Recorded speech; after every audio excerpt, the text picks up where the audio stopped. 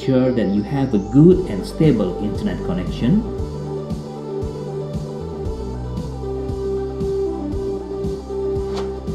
If you have an earphone or headset, we recommend you to use it so that your voice can clearly and loudly to be heard.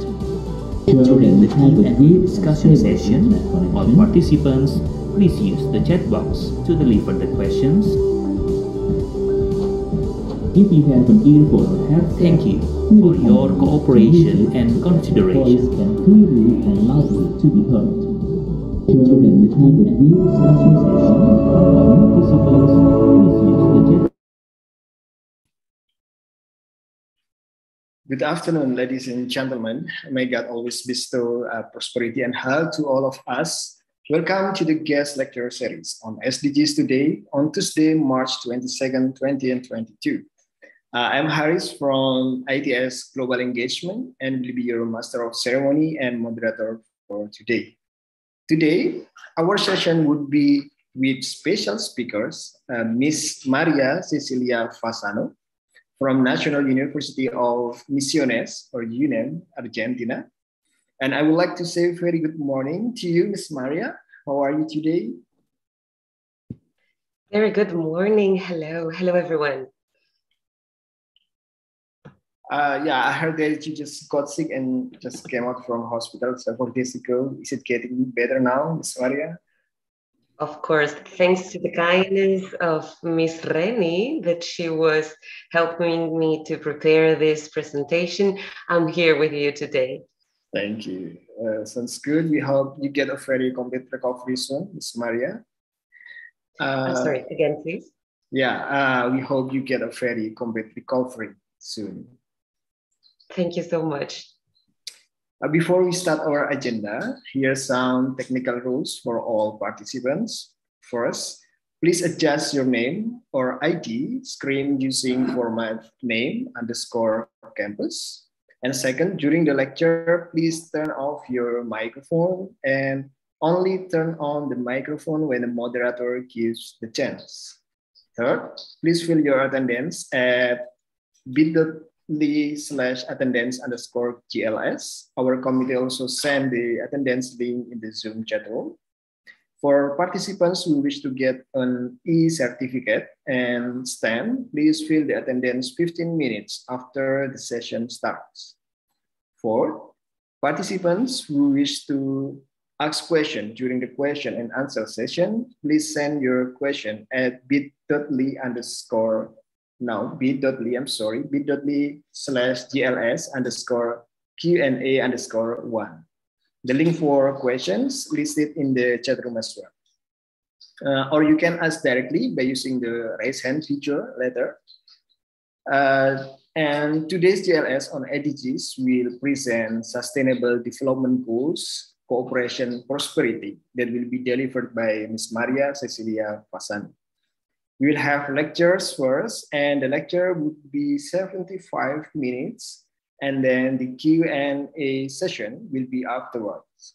For participants, please write down your questions through the link that has been sent to the Zoom chat box. We will have the Q&A sessions before closing agenda. Now, uh, before we proceed uh, yeah, now before we proceed to the next agenda, let me introduce uh, our speaker. Now, without further ado, uh, let's invite Ms. Oh, I'm sorry, I have to uh, read the uh, CV from Ms. Uh, Maria. Okay. Ah. Yes. Okay, now I see it clearly. Okay, Miss Maria Cecilia Fasano uh, from National University of Misiones, Argentina. Uh, like I mentioned it before, uh, she has educational background now. She is ongoing uh, for doctoral. Uh, yes, now she is doctoral student on agronomic sciences, National University of Misiones, and in. Okay, you can mute your microphone, please. And in 2018, master, uh, yeah, she got master in sustainable development, National University of Misiones. And in the same year, uh, she got superior uh, diploma uh, from University Teaching, National University of Misiones. And in 2013, uh, yeah, uh, she got biological science licentiate from National University of La Plata. And from work experience, uh, Miss Maria in 2008, uh, she was researcher in National University of La Plata. And from 2006 until 2013, uh, she was faculty member of Natural Sciences and Agraria, National University of La Plata. And from 2016 until present, uh, she has been as assistant professor in ecology department, National University of Misiones. And from 2016 until present as well, uh, she has been as director of English course for rural community aiming to empower women with worldwide tools. It's such a very, uh, you know, very impressive uh, position, I think, with, with the uh, very generous uh, purpose. And uh, Miss Maria also uh, get some awards in 2018. she got Erasmus Plus to Bialystok University of Technology and in 2012, uh, she got Woman in Fungi Science by Buenos Aires Science and Techniques Committee. Uh, there's all a brief background, brief uh, CV from Miss Maria. Uh, now, without further ado, let's invite Miss Maria. Time is yours. Thank you so much, Mr. Harris. So this presentation is made thanks to the Institute Technology Sepuluh November. And it was made the introductions by Mr. Muhammad Wahyu. So I would like to thank him first and thank your institute first for opening these doors to Argentina.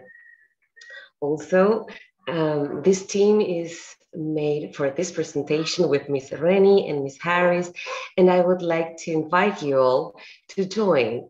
If there is any question that you would like to do, please don't hesitate and raise your hand and let's talk about it, okay? Would that be okay? So, sustainable development goals. We live in a society where it seems that we are not very sustainable, right? So, the title of my presentation in the next slide is Next slide, please. Sustainable Development Goals, Cooperation, Prosperity. I am speaking right now from Argentina, from the Misiones province of Argentina, which is located in between the republics of Paraguay and Brazil. And like Mr. Harris said, I am now teaching in the National University of Misiones. It's one of the smallest rural universities in the country and now our aim is to work with women in this land because we understand that agriculture in this region started from the Aborigines, the Guarani people. Mm-hmm. By the women, the Guarani women's hand started agriculture in this region by respecting the sustainable sustainable cycles of nature. So we are going to talk about a little bit about that and how our culture is nowadays being done in this region and what we can do about it. So in order to place this conversation in a broader uh, frame, let's go to the next slide, please. In South America, the way of living is being marked mainly by multinational corporations. Different companies owned by uh, potencies around the world establish the politics in every country. So aiming to education, aiming to uh, give fortitude to the state or government in order to regulate the policies is a key element in this life and land development in South America. Education forms groups, education forms people to cooperate. And in that sense, we believe that prosperity and technology can arrive to the people also, besides companies from all around the world. And we can cooperate and coexist in the land in that way, we understand that the development goal number 15 may be related with the 16 in the sense of inclusion and justice. And in this sense, women's role is a key element. Women's role add to the use of the land the sensibility on how to do it, when to do it, respecting the life cycles, the sustainability cycles on the resources recovery. So including this teens and in this inclusion, women is key for the development of South America. And now we are going to talk about the development of Misiones province, the land use in Misiones province in this part of Argentina. Next slide, please.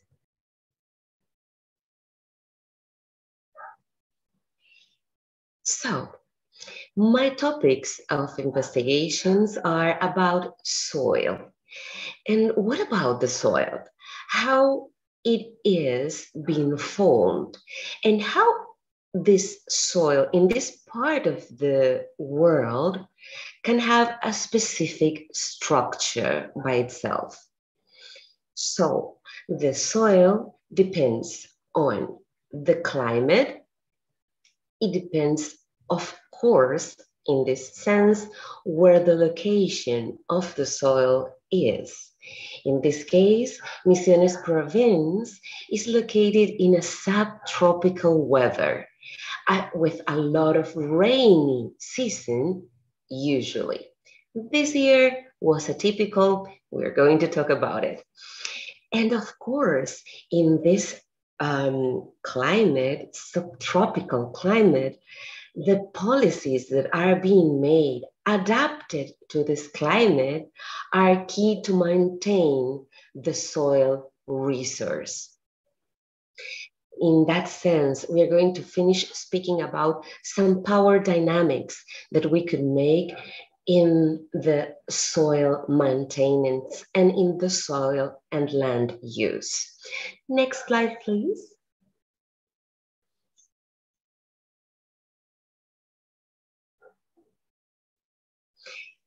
In this slide, you can see what this subtropical weather looks like in the ecology that emerges from the soil. what you can see is the upper part of the Atlantic forest that is characteristic of this region. The Atlantic forest is ruled by high statue trees, four meters, three meters high, and they are the rulers of this jungle. These are key elements in order to sustain the structure above the soil, maintaining the soil of this part of the world below 40 degrees Celsius, which is the average summer temperatures. Next slide, please.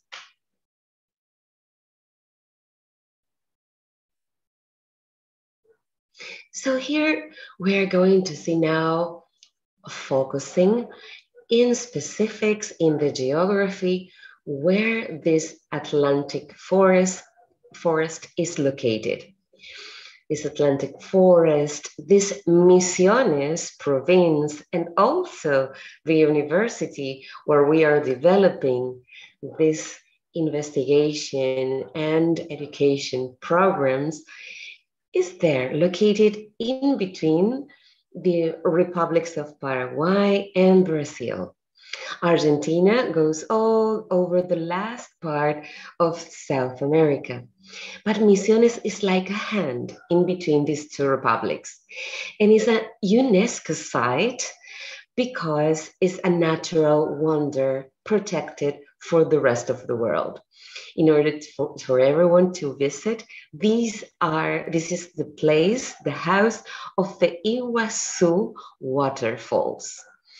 The Atlantic forest in this Iguazu waterfalls surrounds this environment and in this place it's been said the Iguazu National Park as a relic of this Atlantic forest. So in this picture, you also can see at the borders of the Iguazu River, the color of the soil. You can see that the color is red. And the Atlantic forest that is over it, that is protecting this soil from the 40 degrees Celsius temperature, is a key, is key in this ecosystem. Without this protection, without this forest protection, this soil that is being called oxysolex, this soil is absolutely degraded. With this coverage, with this coverage of high trees that maintains temperatures below 40 degrees Celsius, these oxysols maintain microbiological diversity inside of the soil, which means that with this micro life, with these microorganisms that lives inside this soil by the coverage covered by the Atlantic forest, there is a lot of fertility that is being held in this soil, in this kind of soil. Next slide, please.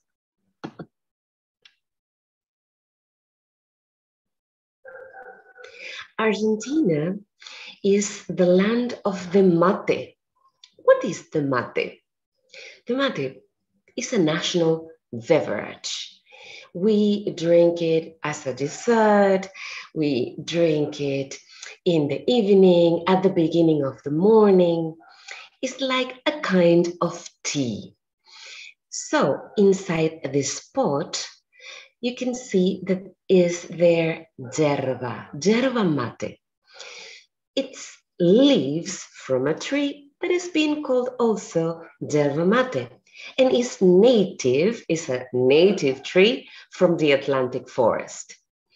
So the Atlantic forest holds in its biodiversity, a tree that makes one that gives, that produce one of the main drinks that the whole country and also Paraguay and Brazil drinks all the, late, all the day long, you know.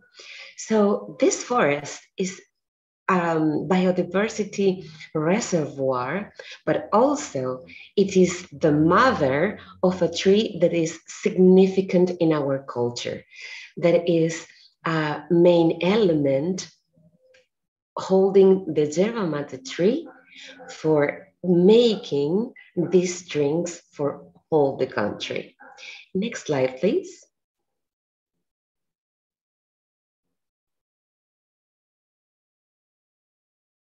So this is how we drink it. It's a small pot. And this custom comes from the Guarani, the native people.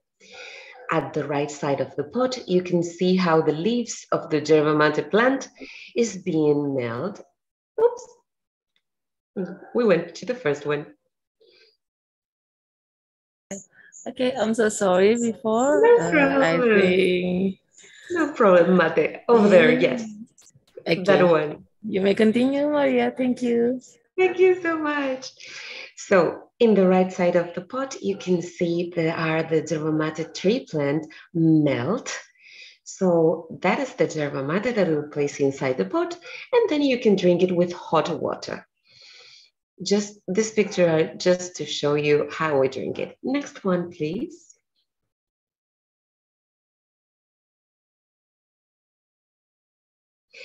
Now, this is the yerba mate plant. This is the mate tree. But as you can see, is there in this picture Atlantic forest like we were seeing in the first slides? Of course not, right? There is no Atlantic forest around this native tree from the Atlantic forest. So what had happened?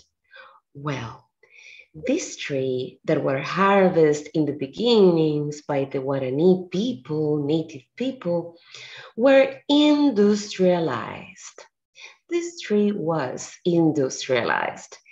And the crops from this tree were made in a monotypical way. By monotypical, we meant that one tree was cropped, was seed next to the other, taking away the Atlantic forest coverage of the soil. So as you can see, the soil itself around the yerba mate plant started degrading without the Atlantic forest coverage. Of course, for the harvest, this is absolutely much more easier than harvest the yerba mate plant inside the forest. But the soil without coverage is not, absolutely not sustainable. Now, why this kind of crops are being made is being made in the province with these characteristics. It's just a matter of economy and the companies that rules the harvesting of the yerba mate plant and the mate crops. In this case, the input, the economical input that has to be made in order to obtain the crop is cheaper than if the crops has to be obtained in, from inside the jungle, from inside the Atlantic forest. So now, next slide, please.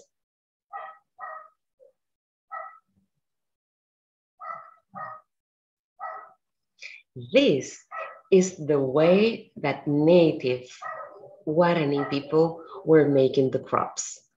The big trees of the Atlantic forest holding the whole structure and giving shade and maintaining the temperature below the 40 degrees Celsius that we were talking, it was the average temperature.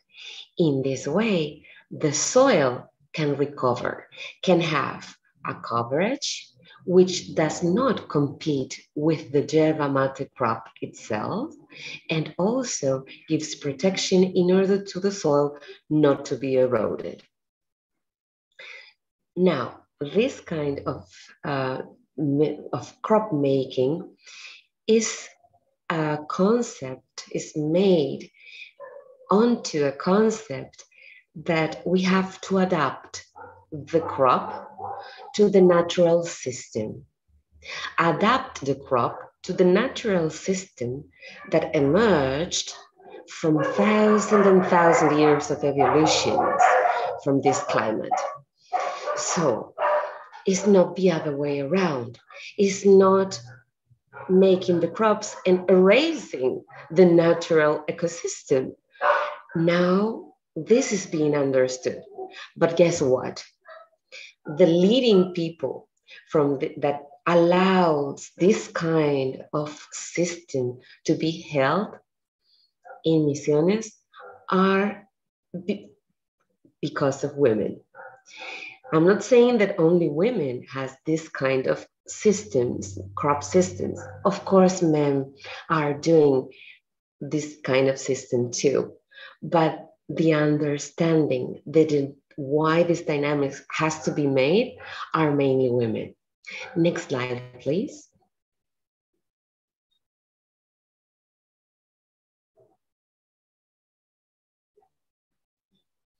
This is um, a picture to show you the thousands of studies that are right now showing how this kind of soil, subtropical weather zone, oxysols soils are being degraded if the Atlantic forest is not being restored over the soil, protecting it. Next slide, please. So this way that nat how native women were making the crops, adapting the crops to the jungle and not the other way around, promotes something that we call biological fertility. When we started this presentation, I was telling you that micro, bio, microorganisms can live and can promote biological fertility if the Atlantic forest is protecting the soil. And that is the case. The studies that we are conducting right now are aiming to measure the biodiversity of microorganisms in different kinds of soil management. In the jungle, when the jungle is, or is protecting the soil, the big native trees are protecting the soil, inside that soil, there is a huge abundance of microorganisms that they um, dispose the chemical compounds of this soil that is being held in this structure, in this physical structure, to the roots of the yerba mate plants and to the roots of any plants. Now, for big corporations, the Atlantic forest is not a business. It's not a business to have crops inside the Atlantic forest. So big companies promote monotypical cultures and highly input of agrochemicals, fertilizers, insecticides, pesticides in general, in order to manage first chemical um, fertility only not biological. And in that sense, also to make the producers of yerba mate dependent on those chemical compounds. When all this movement of adapting the crops to the Atlantic forest started and started growing, imitating how native people, native Guarani people made this crop, the companies started uh, trying to establish more and more chemical fertilization. And of course, this was not being a very big business anymore. So, next slide, please. Fires started there was from December 2021 until February 2022, we had fires all over the province of Misiones, Corrientes, which is the next province, and Entre Rios, which is the third one, next to Buenos Aires, which is the capital of Argentina. Thousands of, of hectares were lost in this sense. And Next slide, please. The north of Argentina, in the north of Argentina, including Misiones, Corrientes, and Entre Rios province, 2,000 kilometers were burned and 30,000 hectares were lost. So the 30% of the total surface of North Argentina uh, was burned in this sense. And um, this is not a scenery that would like that is favorable for the crops in the sense that we were talking, in the sense of maintaining the natural ecosystem. But this is not um, a sad scenario. Of course, it was sad, but not now. Why? Next slide, please.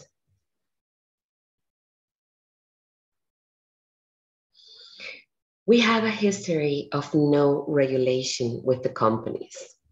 We have a, a history up to this day of less than 3% of women participating in decision making on agriculture.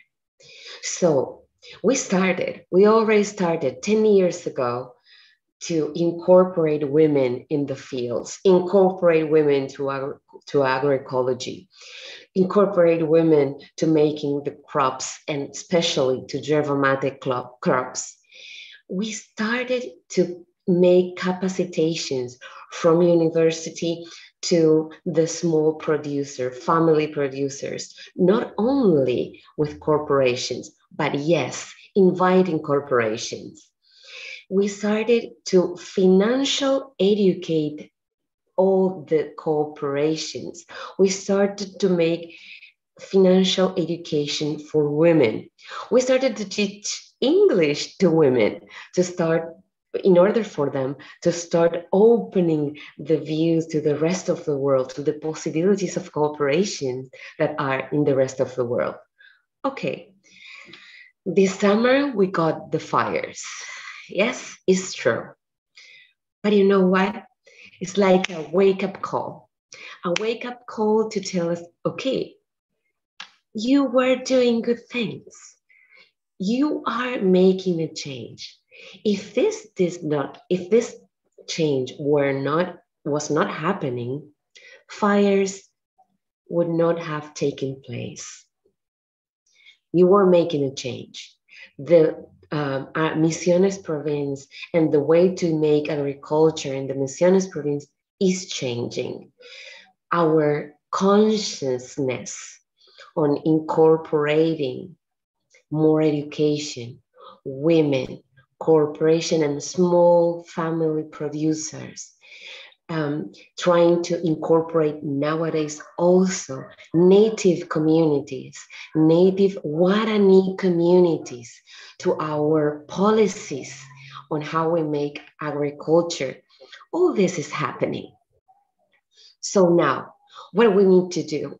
What we need to do in order to prevent these fires and not only that, but also keep go- growing in cooperation, keep growing on association, keep growing on education.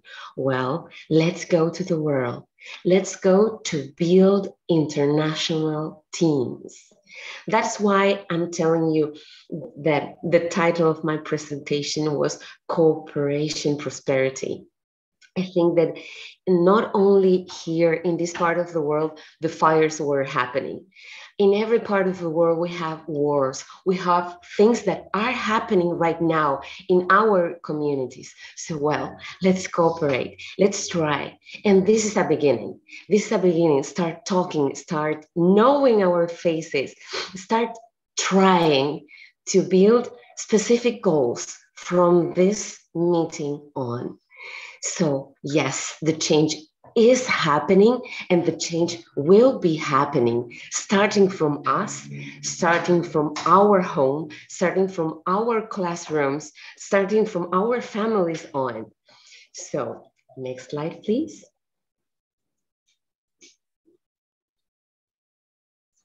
I am so thankful for this opportunity Thank you for you all that are listening.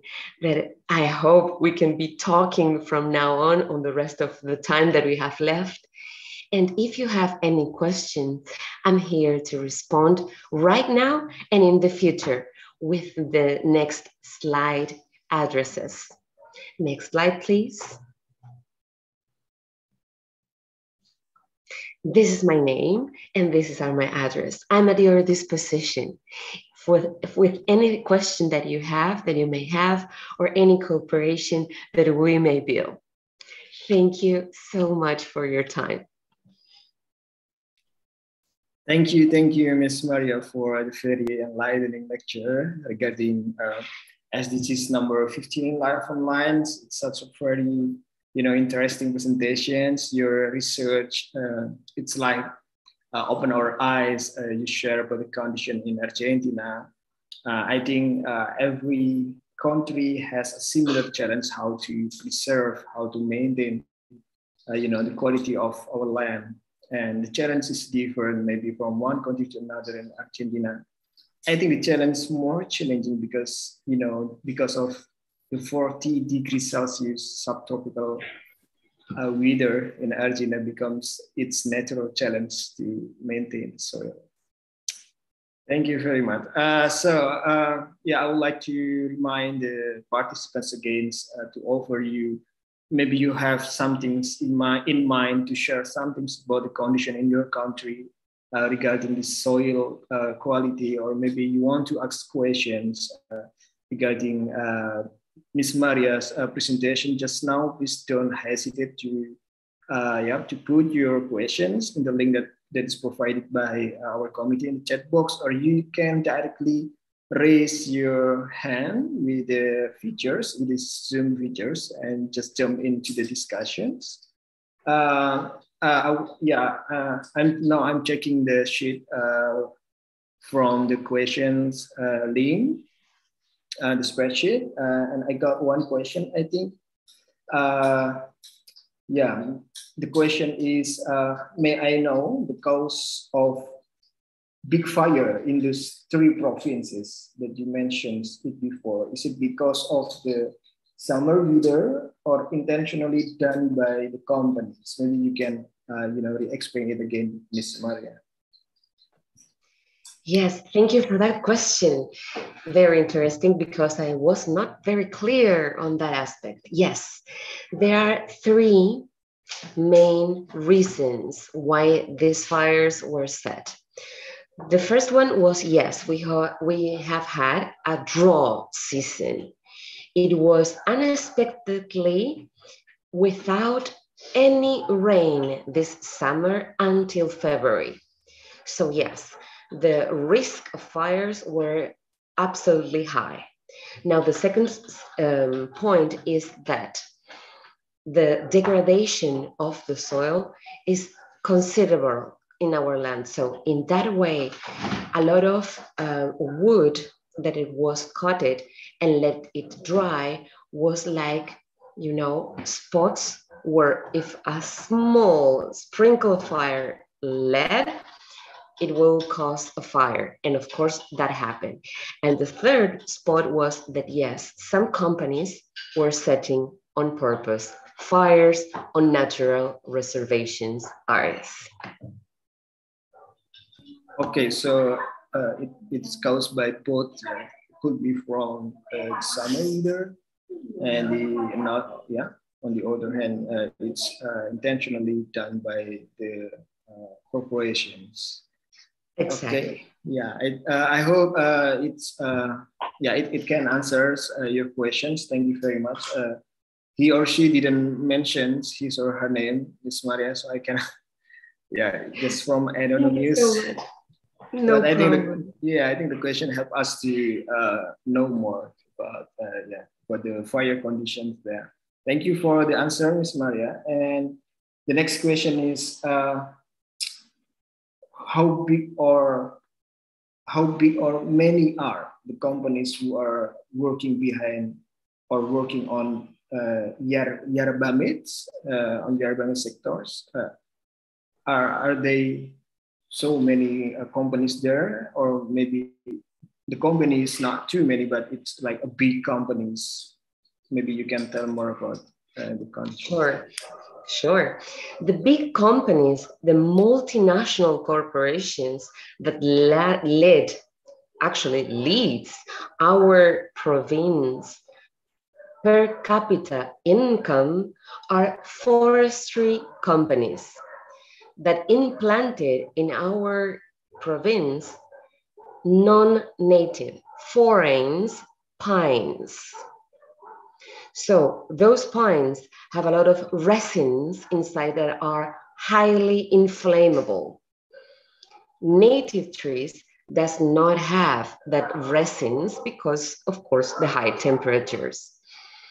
So the second companies that rules our per capita incomes in the province are tobacco companies.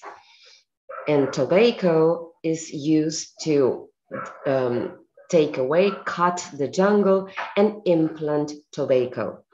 And the third cluster of companies, yes, they are from yerba mate product producers. And those clusters of companies, yes, they are locals. So these policies from university intend to strengthen these clusters of company of yerba mate companies in order to uh, make a buffer in the per capita incomes from our province. Am, am I being clear? Is being understood what I'm saying?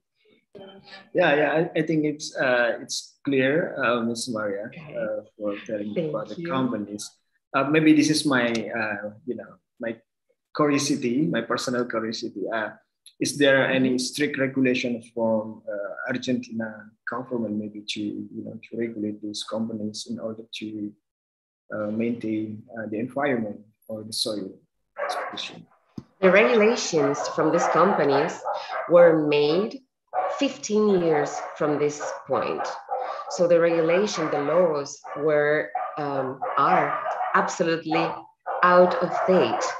Companies are inside of law but outside of date in that law. So there is no way so far to have um, legal regulations.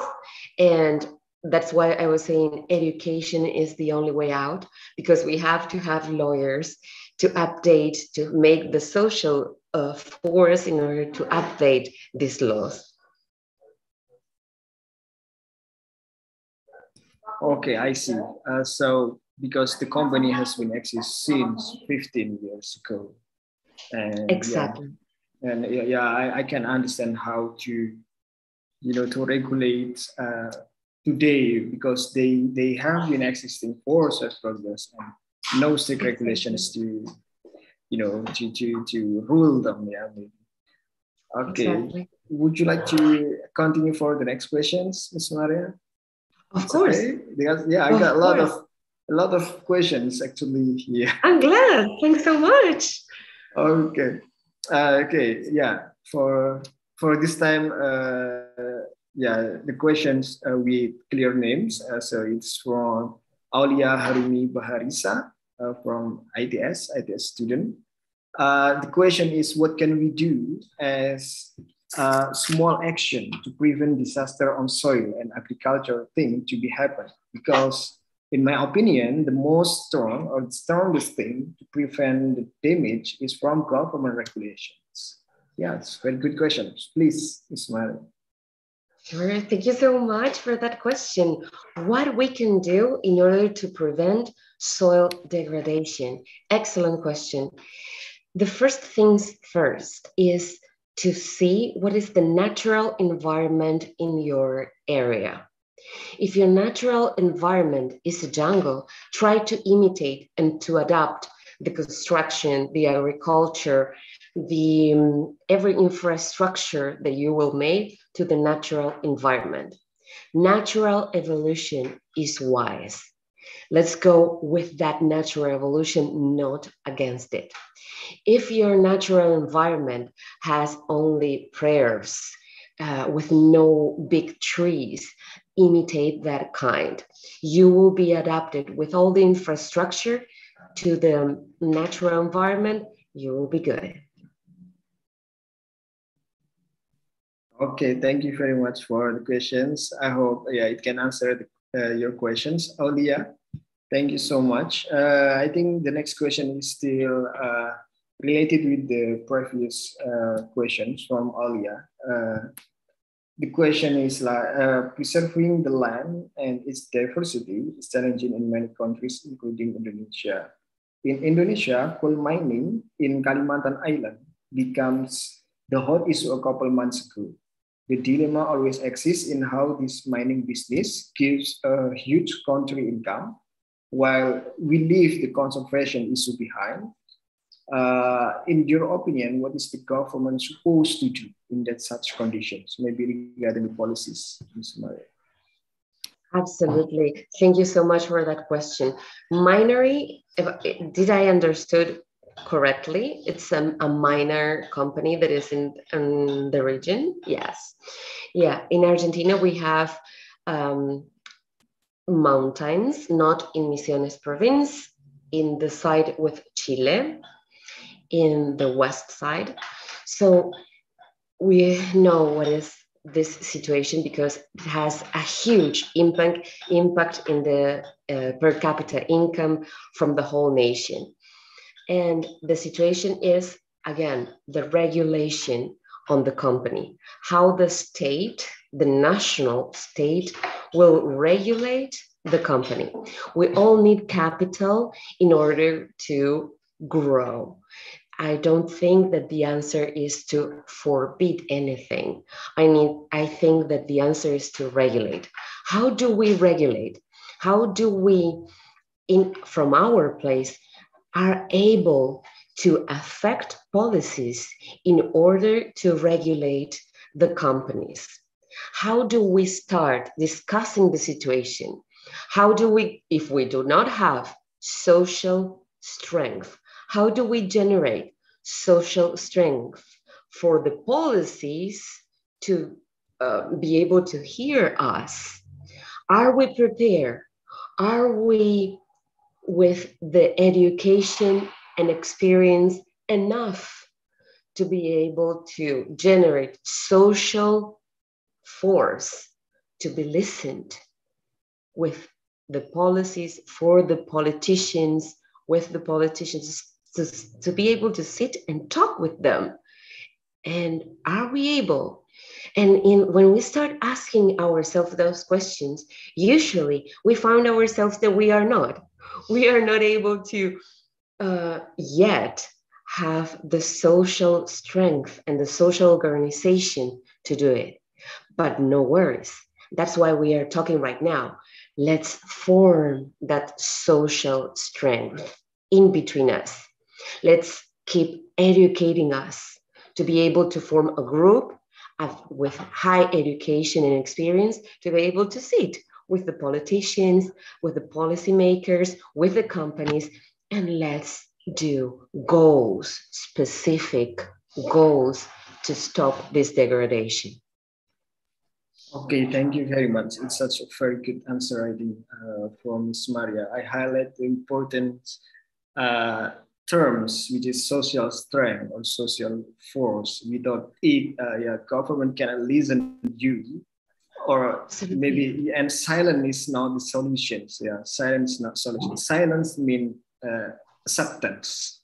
That Absolutely. We, yeah, we Absolutely. don't we don't do nothing unless see it, witness it, but without any actions. And personal action will not be enough to be heard by politicians. And so we need to hand in hand to create a social strength and force uh, mm-hmm. to for a specific goal. Uh, specific goal is also, another terms that I highlight because you know without a specific goal we just give our critics and like an empty voice. Uh, mm-hmm. Uh, so yeah, uh, I I think it's very good suggestions from Miss Maria. And maybe I would like, uh, do you mind if I continue with the uh, several questions more? Of course, of course. I'm here at your disposition. So please, let's keep with the questions.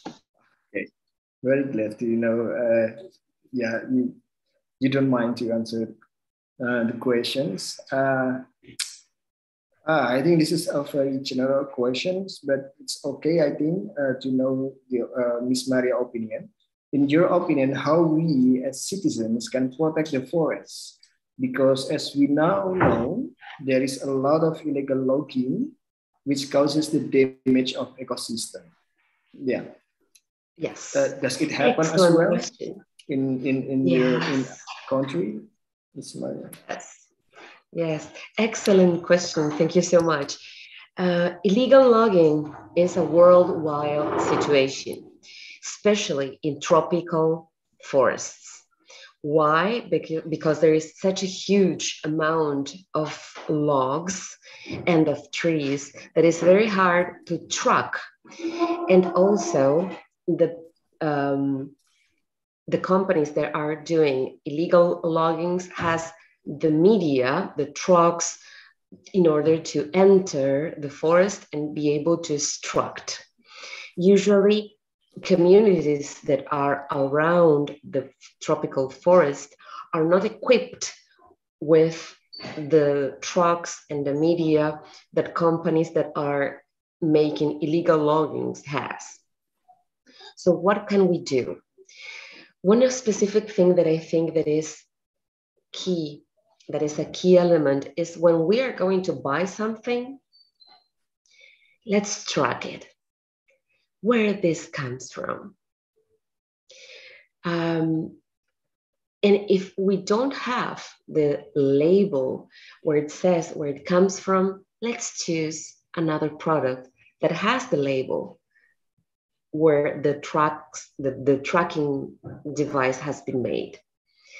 Um, there are um, certification signatures, certification logos, certification processes that made some labels very specific in that sense. You can read and track from any part of the world through this certification process where these logs or where this product product any product comes from i think that is one specific thing that we can do because the market leads the production always. There will be no production if the market does not buy. So uh, the the buyer has so much power. We as buyer has so much power. Our conscience in which product to choose is the power to start the change. That is one. And the second is um, again social force uh, if we have like here in in, in misiones province 3 a.m 3 a.m in the mornings is the time where you can see some trucks with illegal um, logs on it. So there were some groups that were gathering and just coming to the route, to the roads, and taking pictures, and taking pictures and uploading to the social media. Of course, with precautions, because some of this situation can be dangerous. So these uh, social media were anonymous. So the pictures were uploaded, uploaded in an anonymous way in order to be uh, preventing to be seen. But the pictures with the illegal loggings and with the plagues, the number of the plagues were displayed. And sometimes the government did an excellent job in stopping that logging. And the third thing that I will say is let's get creative because, yes, we have the power as buyers, we can take pictures, but I'm sure we can figure out so many other ways to stop in a very preca- precautious way, with care, with calm, with in a peaceful way. We can get creative. That's it. Thank you. Thank you very much uh, uh, for the answer. Yeah. First of all, the easiest way to do uh, based on Miss Maria's suggestion is our consumption behavior. I do, uh, I agree on it. Indeed, of course, because yeah, some of us just spend money to buy this, to, to buy that without paying much. how is this product from, from where, from what materials, and most of thing that we buy, maybe we uh, contribute to these environment destructions. We do not know. So to be more self-critical, to be more, uh, yeah, to, to always think critical, I think it's a very good uh, to, you know, to contribute to this uh, environment preservation. Thank you very much. Uh, and the next questions. Yeah, I got several questions. I'm so glad. Um, okay. Uh, yeah, we're as youths, what can we do as youth people? And can you share us how about the movement from youth people in Argentina to protect the forest or environment? And maybe do you know? I'm sorry. Uh, youth? The internet cracked a little bit. Uh, if I can share what again, please? Okay. Uh, how about the movement from youth people in Argentina to protect the forest or environment, Ms. Maria? Maybe you know some youth community you focus on environment. Absolutely. Thank you for that question. Very important question because uh, we have to picture the economical and um, social reality of my province.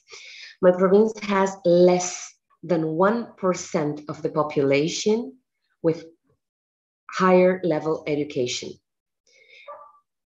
So 3%, in between 3 and 5% of our population reach secondary level. So, in that sense, being this said, I like you to picture that just an elite of people have access to higher level education, healthcare, and land ownership. So, in this sense, it's very hard for the rest of the population to take care the environment because people need to survive. The surviving situation is acute in this part of the country. So there is uh, we have three frontiers with Brazil and Paraguay, and there is a lot of smuggling of anything that you can imagine. So the social, social political situation of the majority of the population is being in the aim of survive day by day. So we are not able to judge or to say anything about if a person hunts for living, burns for a piece of land to live, or if sells some illegal logs in order to have food on the table for their children. So that is the basic situation. Now, in this context, we have Greenpeace, we have an ecology ministry in the region, we have even in the agriculture ministry a lot of policies that are in papers very good in order to hold the jungle, to preserve the jungle. But the reality is stepping in other steps. So, how do we do? How do we make this equilibrium in between what we say in papers that should be done and what reality is showing us day by day? Education is one step, but also um, reaching vulnerable communities and not giving only the solution for that day or for a short period of time, but instructing people in hand, handworks, works that can be uh, helping them to survive day by day is a key element in the social structure and in the jungle preservation too.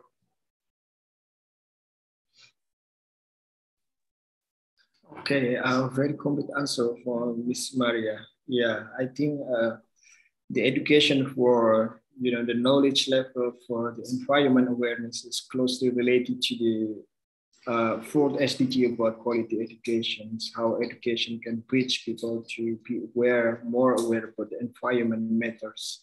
Uh, I do agree with uh, Miss Maria. So if you if you have like a you know environmentalist community here, uh, try to educate people is one of the effort actually to Absolutely. yeah one of the effort to uh, to sustain to maintain uh, the quality of our environment but it's still closely related. And thank you. We i have another questions. Uh, it's from yuga. Uh, but i think for uh, this time i would like to invite uh, one of the participants to ask directly. Would you like yuga praina pavitra to uh, yeah to join our discussions? And uh, deliver your question directly. Yuga, are you there? Hi Yuga, Raina. I think yeah. Hi Yuga. don't be shy. It's okay. Just join our exciting yeah. discussion. It's okay, Miss Maria. Absolutely. We are living okay. here with internet connection that comes and goes. So maybe that happens too. okay.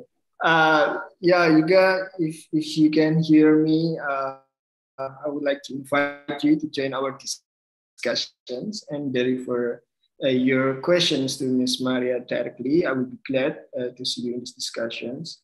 Or maybe another participants, you can directly raise your hand, or if you prefer to type your question through the link, it's it's okay as well.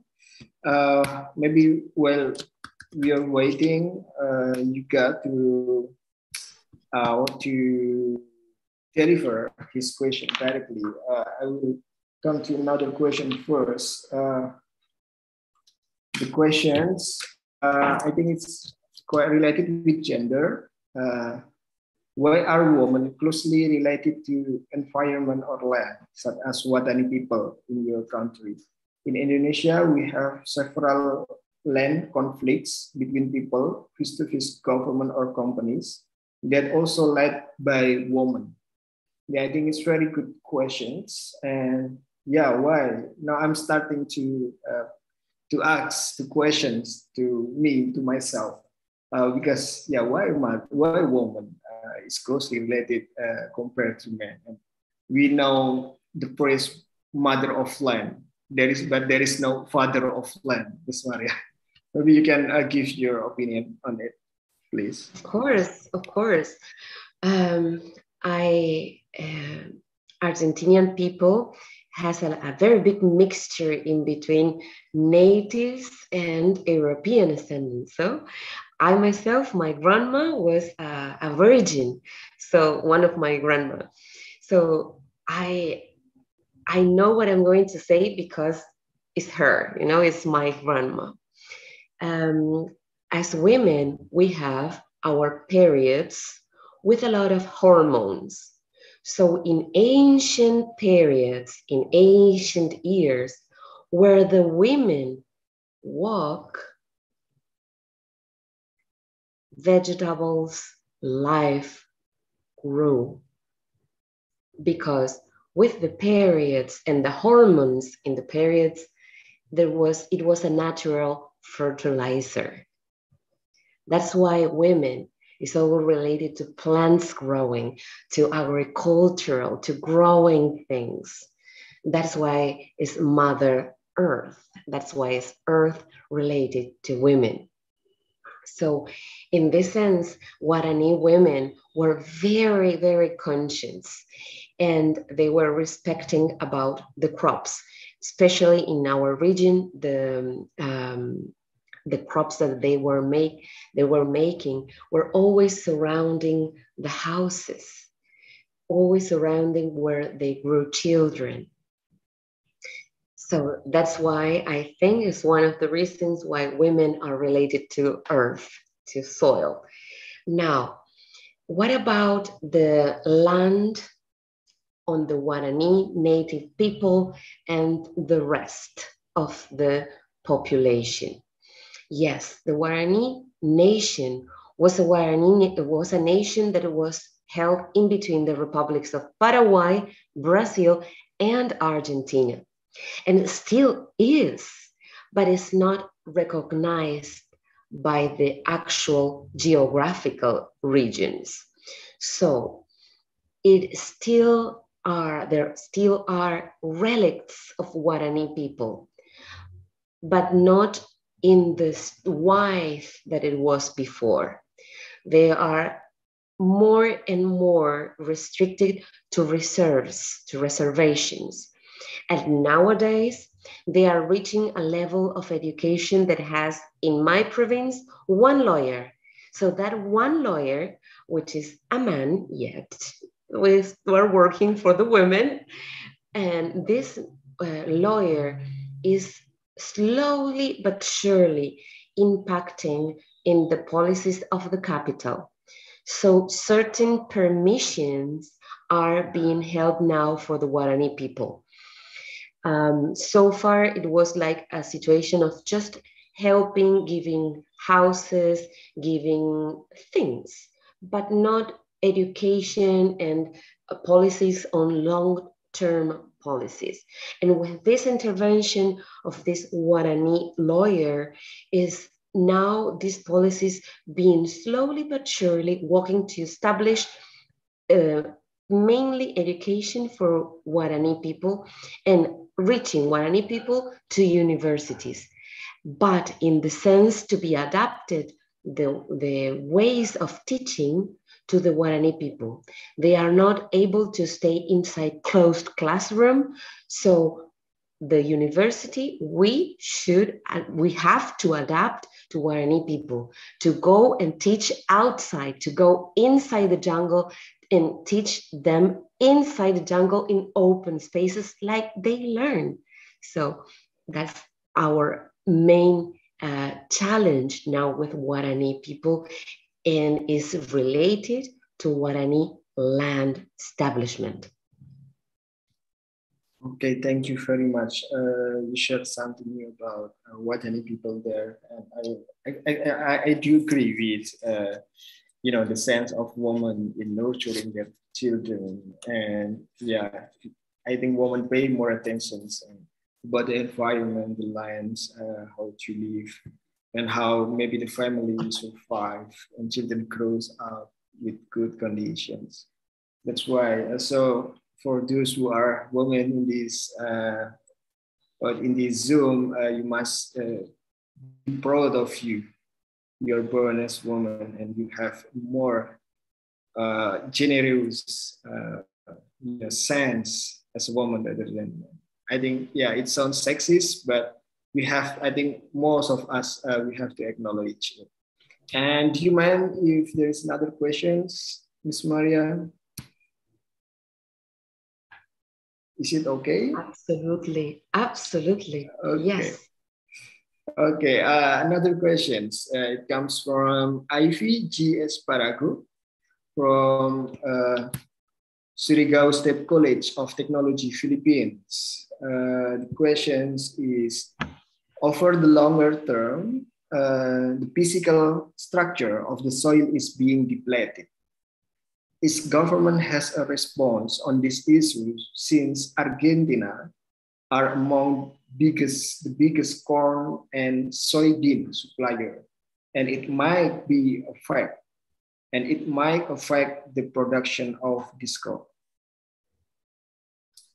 Amazing question, gorgeous um, Argentina is so big, so, so big that um, except for my province, the whole rest of Argentina has another kind of soil, which comes for several processes, but are different than from Misiones province.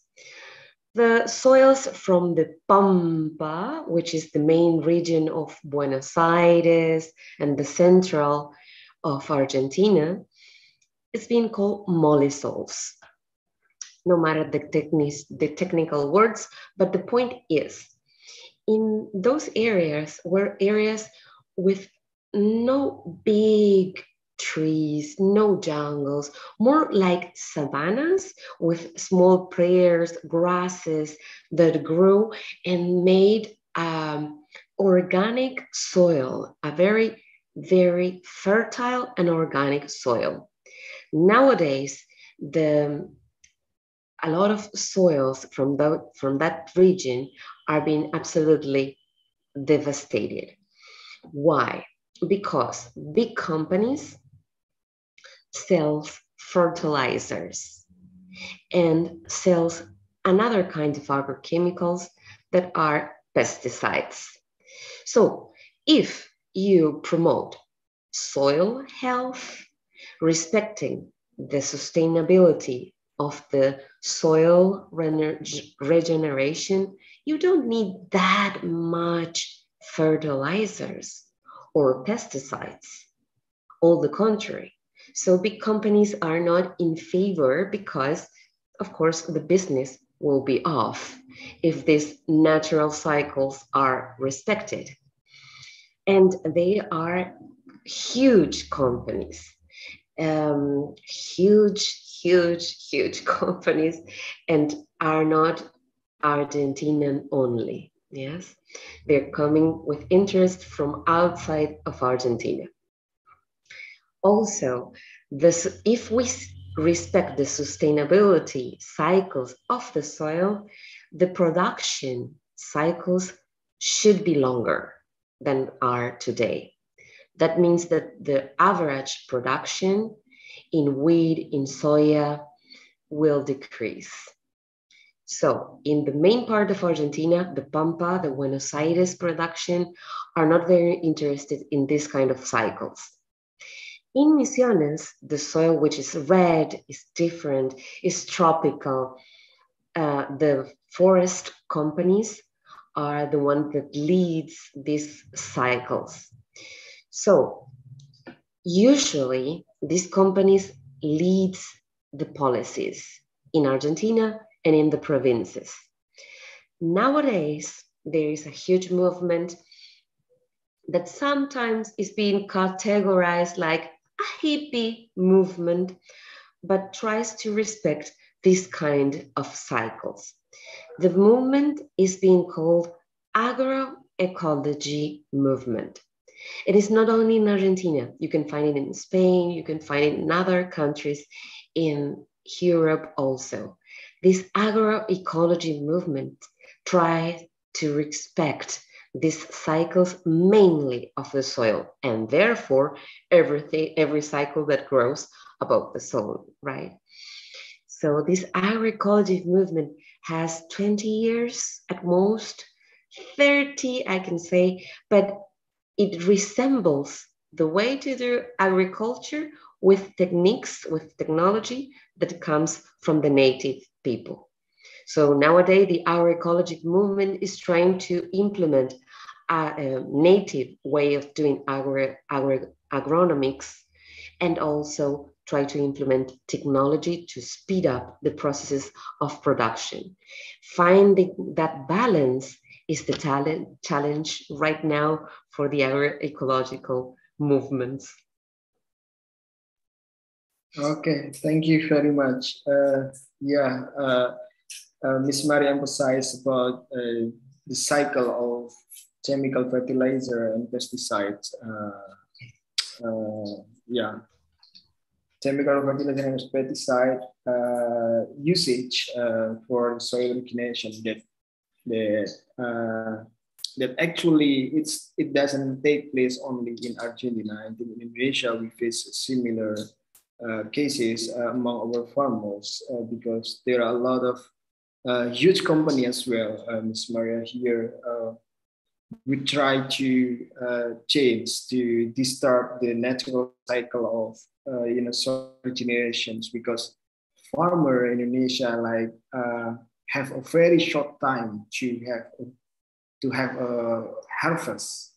So uh, the, this this companies always like promote that by using this chemical fertilizer and pesticide, it makes your crop uh, be, can be harvested uh, sooner than it's supposed to be. And but uh, at the same time, actually, it uh, uh, degrades, yeah, decrease the quality of soil and the land itself. Thank you very much. yeah. And Mr. Harris, may I add something on what Yes. you are saying, please? Please. It decreases the soil quality, and also we have to think all those chemicals that we are using in the crops, where are they going? Of course, there is a chemical degradation for the UV rays from the sun, yes, but until what point? It's being studied. Actually, it's not. So those chemicals, oh, they are going to our food and from our food to our brains. Yes.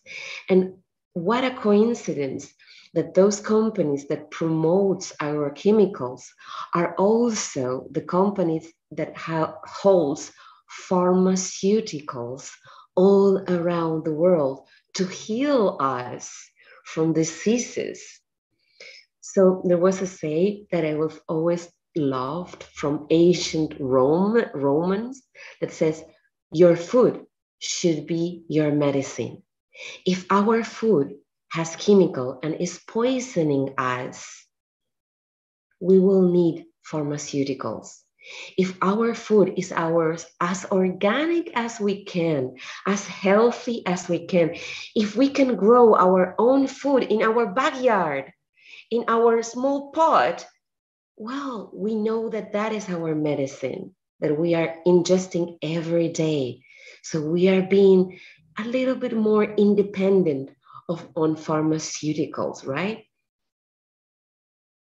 Yeah, yeah, absolutely, indeed, uh, Ms. Maria. Uh, yeah, food like medicine. Yeah, we, we know that uh, as ASEAN, maybe it's very familiar. Uh, and I found similar phrases. Uh, I think you are what you eat. You are what Absolutely. you, yeah, you are what you eat means uh, what you eat determines what kind of people, what kind of persons uh, we are. Yeah. Uh, very, very good, uh, very insightful uh, discussion, I think, uh, this, uh, this afternoon in Indonesia. And maybe that's why people who live in a rural area or in a village have like uh, longer life expectations than people in the city because they have their own food resource behind their home maybe and they eat something which is very organic very healthy and and they they can uh, live longer than people in the city okay thank you very much and because uh, Yuga will not join i think uh, for certain reasons, uh, I will just read uh, his questions, Ms. Maria. I think this is uh, the last question that we have for uh, for these sessions. The questions from Yuga. Yuga is uh, ITS students uh, from technology management. Uh, how to deal with soil conservation problems when faced with economic problems. In most cases, economic issues are more important than conservation even though without the availability of good soil, humans will not survive in the future. Absolutely. Thank you for that question. How do we deal? How do we deal with economy if when surviving is the priority? How do we deal if our mindset is set to survive? I think that the scarcity mindset is something that should be placed in discussion. It's true that there will be no food in the future, or maybe in the cities we can grow food in a garden, in the wall.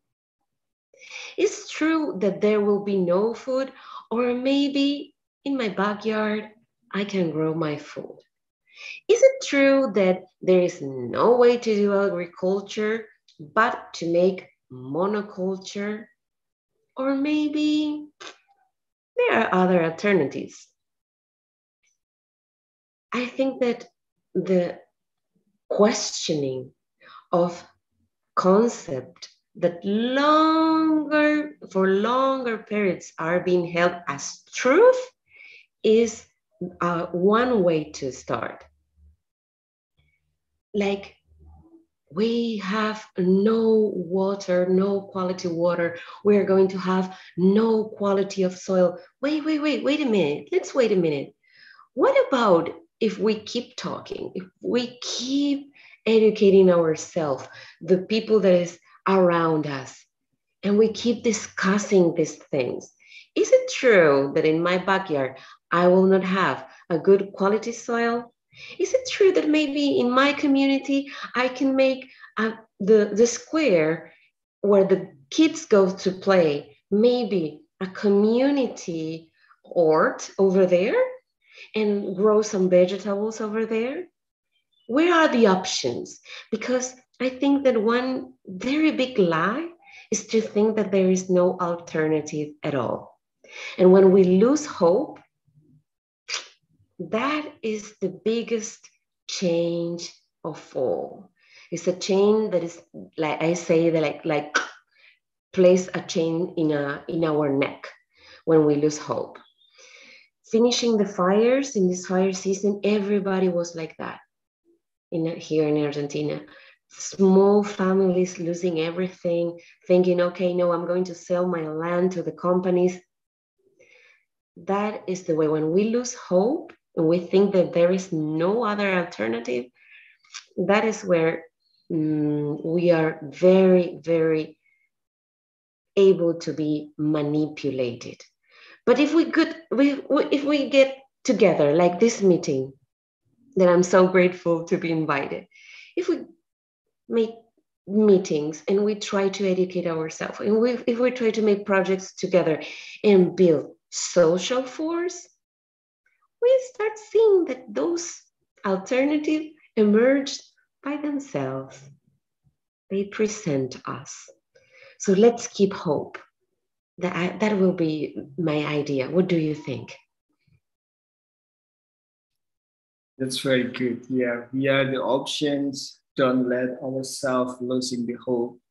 Uh, don't give up with the conditions. Uh, we are in our hands. So yeah, actually, I, I, do agree. I think, yeah, I, am also grateful to be invited in this very fruitful discussion with you, Miss Maria, and with this uh, amazing participant with these questions. Thank you very much for this fruitful discussion, Miss Maria. Uh, I really appreciate uh, every of your opinions. Uh, I think it's like uh, motivation sessions. I think it like opens our eyes about environment awareness. It opens our eyes to how to think clearly, how to think uh, critically uh, in, in this in the in the kind of dilemma condition between environment interest and economical interest. Thank you very much for giving all of your opinions, your knowledge to us. Uh, we got a lot of benefits of your thoughts, Miss Maria. Thank you so much. Uh, and thank you so much for the, the excellent lecture of today. Of course, uh, I would like to invite all the audience, ladies and gentlemen, please give applause to our speaker by using the Zoom reaction feature. Thank you very much for Miss Maria. Furthermore, uh, we would like to present a certificate wording to our speaker today. Uh, Ms. Reni, would you like to present certificate wording to our speaker today? And this is the certificate to Miss Maria Cecilia Fasano. So nice. With batik. Oh.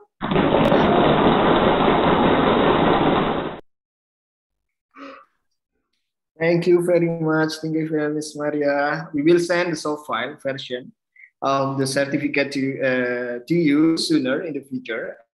And we will also send it to your postal address with the full sign of our rector, Ms. Maria. Once again, thank you very much uh, to both our speaker for your valuable time and uh, contribution to this guest lecture series. That your lecture is, yeah, of course, beneficial for all participants in understanding uh, sustainable development goals, especially uh, on live online.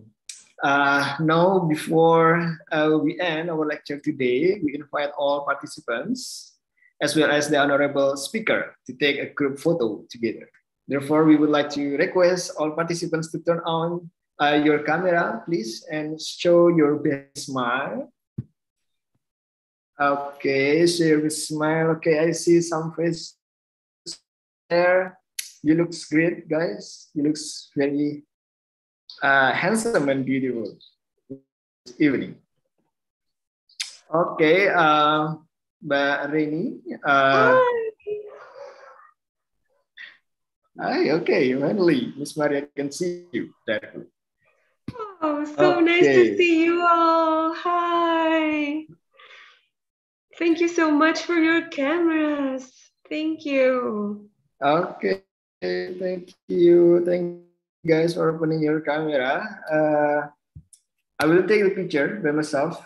Okay, show your best smile. Uh, I have two slides of screen here. Three, two, one. Okay, and the next slide. Three, two, one. Go. Okay, thank you. Thank you very much, uh, guys, for uh, joining these sessions. Now we have finished the group photo. Thank you. And for the participants, uh, please fill the feedback form through the link bit.ly slash GLS underscore feedback that you can also see on the Zoom chat room. Please be reminded the participants who will get STEM are the participants who come on time join this event until the end and also fill the feedback form. And if you want to take credit transfer from GLS on SDGs, don't forget to submit your second TWIL or TWIL for GLS on SDGs. Concept and principle sessions as one of the requirements before 31st March through bit.ly uh, slash GLS underscore TWIL or TWIL. And for tomorrow, we will have the last topic for GLS on SDGs in March with interesting topics for SDGs 17, partnerships for the goals that will be delivered by Ms. Uh, Jayani, yeah, Ms. Jayani K. Ratnayaka, bringing the topic public-private partnership for sustainable development. Okay, you can see uh, poster. Yeah, it's tomorrow. Don't forget. And finally, we have reached the end of today's guest lecture series. Once again, thank you very much to all to our honorable speaker and all participants for the attention and cooperations. We hope to see you again in next agenda tomorrow. Don't forget to follow our social media on Instagram, ITS International Office and Facebook ITS International Office and keep updated of our programs. Stay safe, stay healthy, and please enjoy the rest of the evening. Goodbye, see you, and thank you very much. Goodbye, Ms. Maria. Thank Bye. you. Goodbye, all. Thank you so much. Thank you so Thank you so much. much, Dr. Kwan. So, uh, Uh, thank you so much, Okay, uh, Maria okay. and Mas Haris uh, and Aloni and the guest lecture series on three, two, one. See you tomorrow, everyone, and stay safe all.